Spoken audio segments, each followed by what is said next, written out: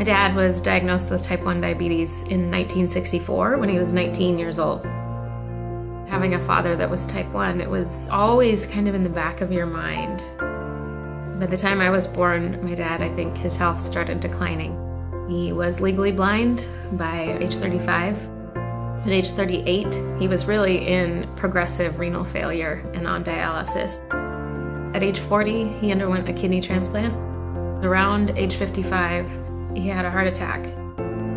A year later, his first leg was amputated. A year after, his second leg was amputated. And then at age 58, he was diagnosed with end stage colon cancer and passed away. Technically, he passed away from colon cancer, but everything was attributed to type 1 diabetes. And then at age 21, I was diagnosed with type 1 diabetes. And the immediate reaction was, you know, I'm, I'm, I'm gonna be my father. It brought me to my knees. I think the similarities between my dad's type 1 and my type 1 were probably more of that mental sitting on your shoulders all day, every day. He was diagnosed at 19, I was diagnosed at 21. We were diagnosed at very similar ages, but when you talk about management and day to day life with type 1, it's entirely different.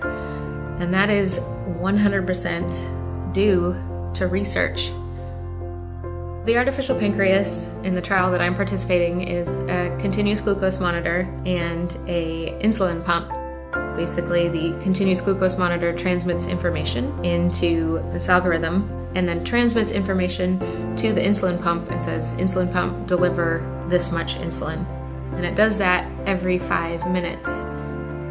So this is probably the most exciting part of the trial when I get to eat. Typically before I would eat, I would count the carbs, check my blood sugar with my glucometer, enter that information into my pump, and then I would allow my pump to uh, give myself insulin. So get so excited when I get to just sit down and not check my blood sugar and not count carbs and not think about anything. I just get to eat a meal like people who aren't type 1.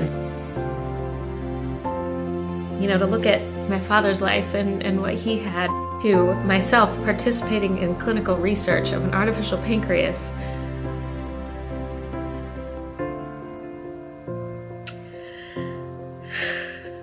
I don't, words can't, words don't describe that.